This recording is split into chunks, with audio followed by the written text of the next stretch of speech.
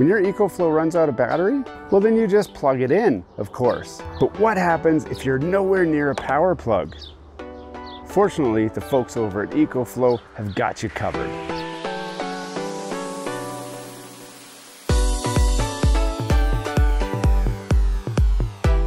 Hello and welcome back to Gears and Tech. You guys have already seen us using this EcoFlow battery generator with stuff like our regular RV. But this is also great for power on the go pretty much anywhere, including out at the job site with your truck or in more remote areas. And for that reason, it's probably actually quite common for you to not have the access to power to recharge your unit. Traditionally, you've been stuck with a cigarette adapter, which is a very, very very slow charge rate, or a soft-sided solar panel setup that can add up to about 400 watts of charging power but that's still pretty slow.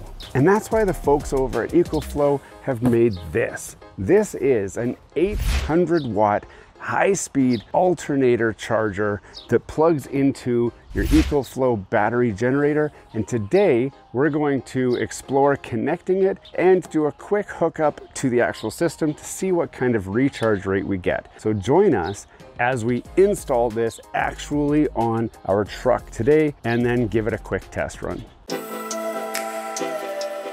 Now we've already done an unboxing of this thing, so you guys know what's inside here, but I'm just gonna refresh everyone's memory. We've got the battery connection that connects to the side port on your EcoFlow unit right there and connects to the charger itself. We've got this massive cable right here, which connects to the battery of your vehicle and a fuse as well.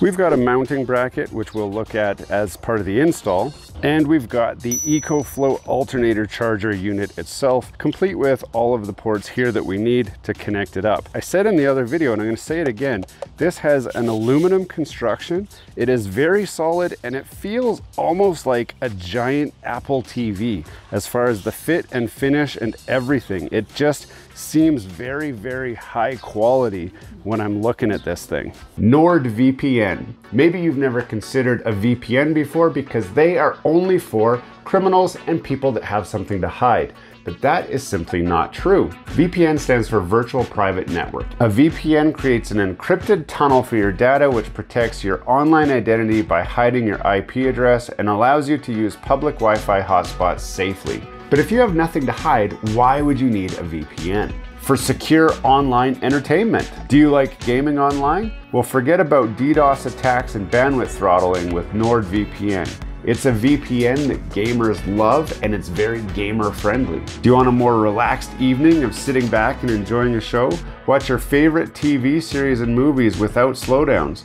NordVPN can save your movie night by preventing your ISP from throttling your connection. Also, top secret tip, you can access shows in other regions that are normally region blocked by using a VPN and setting your home connection to whatever country the show that you want to watch is airing from.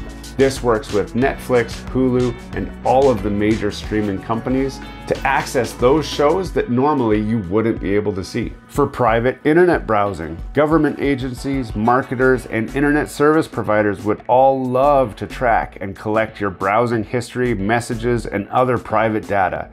The best way to hide it? Using a VPN to keep your data safe. For safe traveling, Use NordVPN to secure your connection on public Wi-Fi so you can browse in full privacy even when you're far away from home. Hackers have many methods to steal your data on public hotspots, but with a VPN, your online traffic is invisible to them. Ready to give NordVPN a try? Click the link down below in the description for exclusive Gears and Tech offers and discounts on a brand new sign up. You can cancel anytime but grab this deal before it expires. Signing up through the link below does help this channel out a little bit extra as well, and we really appreciate your support. Let's get back to the video. So the next thing we wanna do, obviously, is hook it up. The easiest thing you're gonna do is go to your vehicle, wherever you're hooking it up, and pop the hood. This cable is actually very long, so I'm gonna just measure it off real quick. That's five, that's 10, that's 15, and a little bit. So this cable is at least 15 feet long. It is very high gauge wiring And this means that for all of you guys with your hashtag van life setup, you could easily run this cable all the way from the front of your vehicle into the back where you probably want all of your power anyway, so that you don't have to move your EcoFlow every time you charge. Now I'm not gonna do a full wire tucked install today. I'm just gonna do a functional setup install. That means we're gonna hook this all up under the hood. But use your imagination here. Anywhere where you can fish this wire, you can get this setup installed to, and your length is probably not gonna be a problem. Before we get too far into this video, don't forget to subscribe to the channel down below. If you've seen some of our content already and have not subscribed, we want you to join our community. Smash that like button, hit subscribe, and let's get back to the video. So here we are at the truck. We're gonna just pop this hood up. And Ford was nice enough. You see, Ford knows if you drive a Ford, you're gonna be under the hood. So they were nice enough to make this step space here so we can step and reach all the way up under the engine bay. Let me demonstrate. Inside here, so you can see all the way around here. You can stand right here without falling anywhere. I can reach absolutely everything that I need to. So thanks, Ford. But for our purposes today, I actually only need to get to the battery right here. So I'm not gonna be using the step that they provided. And really all I'm looking to do is connect the positive and the negative up to the cable that I have. So I'm gonna get that all hooked up and then I'm gonna jump back and show you guys what I did because you don't need to see me loosening some screws and doing all that. You guys are smart enough to know what I've done once I show you. So we'll jump back in a second. The connection was dead simple. I used the massivest giant crescent wrench. I'm gonna show you guys real quick what that connection to the battery looks like. So here is our battery. You can see we got the negative terminal here. We got the positive terminal right over here. Now the negative is simple because it's just the black wire coming off the other end of this long cable. The red wire, you're gonna wanna make sure to use the included fuse. So I'll pull the cover off there. You can see it comes with a 125 amp fuse. This is important because due to the length of this wire, if there was a short anywhere in this wire, you want this fuse to blow long before this wire completely melts and burns up. Very, very critical that you have a fuse and you always have the fuse as close to the battery connection as possible. In this case, is about six inches. Now, on my battery, I actually have multiple battery connection points. I made sure to connect to the one that comes straight off the alternator so that I have the highest amount of power available. If you accidentally end up on a smaller one, you could end up pulling a lot more current than you want to and cause a problem of some sort. This is what this connection looks like. Now it's time to grab the EcoFlow and hook it up. Here we are with the charger itself. Now the nice thing is all of these ports are marked so it's impossible to hook it up incorrectly. So this will only fit into the port that has a picture of a car. I don't know if you guys can see it here. That's a picture of the car and it only goes one way and it just clips in just like that. It won't go any other way. It only goes this way. So that way you know that this is connected. Now, if you're putting this in your engine bay, you probably don't want to. It is waterproof, it is sealed, but it's pretty big, it's pretty expensive. So ideally you're gonna put this inside your vehicle somewhere. Now I've got the shorter cable and this is the one, one end goes to the battery, one end goes to the EcoFlow unit itself. For the battery connection, there's a little picture that says battery right there. And right here, there's the same picture. Now again, this will only let you install it one way.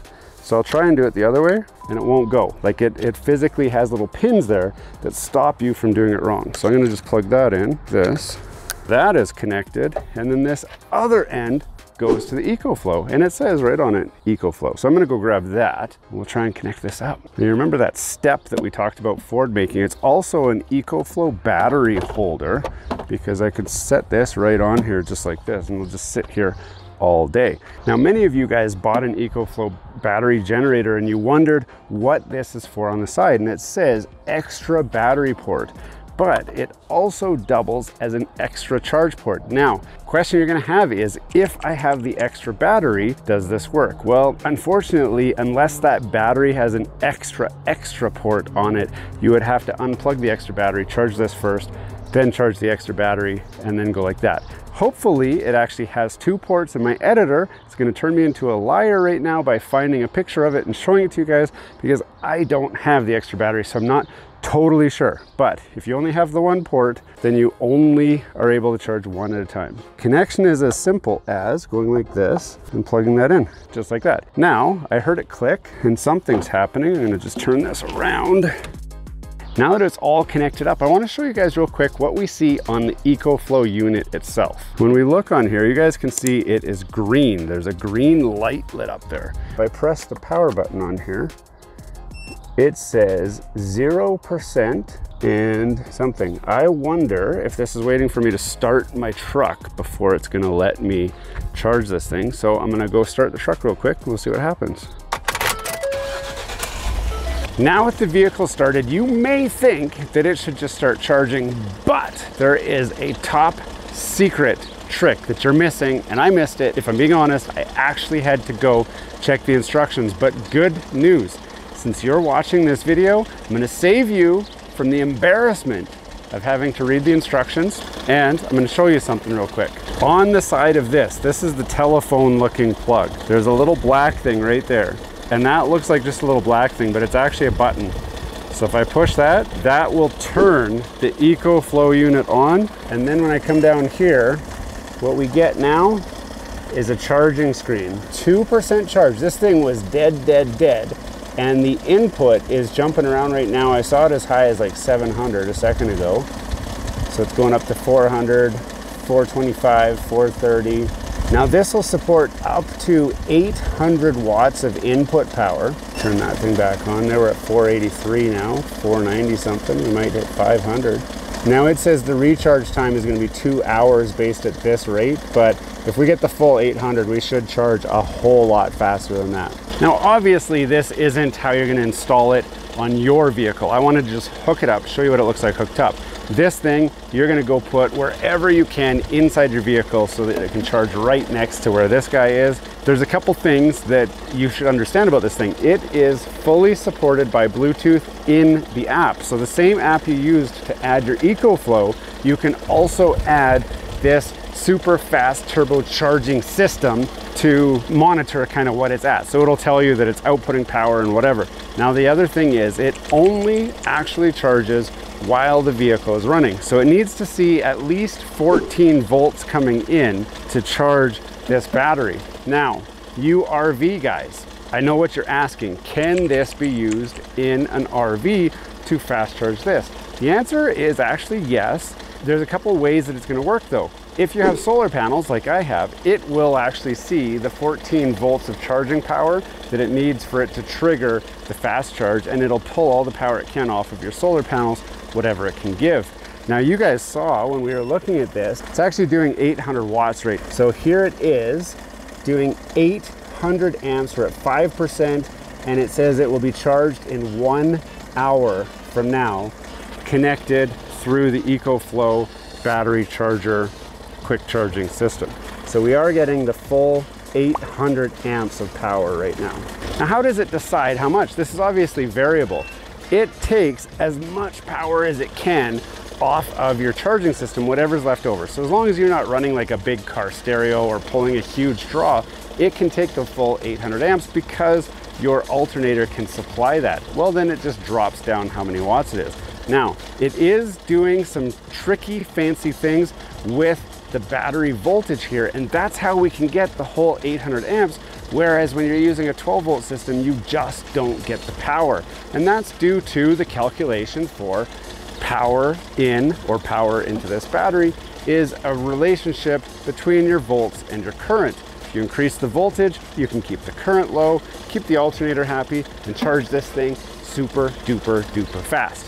What is the output voltage on this? I would guess it's about 60 or 72 volts. What I think the battery inside here is rated at, which it's way more technical than what you guys really care about. All you want to know is, does this work? Absolutely. It is charging so fast right now. I'm super excited about how quick this is charging. If you want to get one, I'll put a link in the description where you can grab that EcoFlow unit. If you don't have the EcoFlow generator, I'll put a link for that as well. They do have some kits and combos and promotions and all of that stuff, and you absolutely get access to all of those promotions when you click that link down below. If you have more questions about this setup, let me know because I can always do another video and show it to you guys. For my final, final check, I'm gonna go shut the truck off and see if it stops charging just to make sure I haven't been lying about this this whole time. So good thing you stayed to the end because you might find out Anton doesn't know what he's talking about.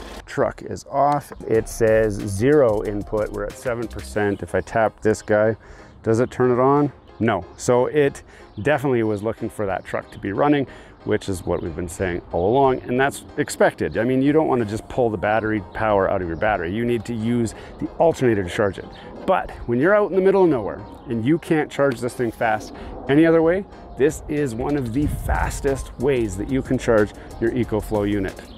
Now I know you're wondering, Anton, you said one of the fastest. Is there a faster way?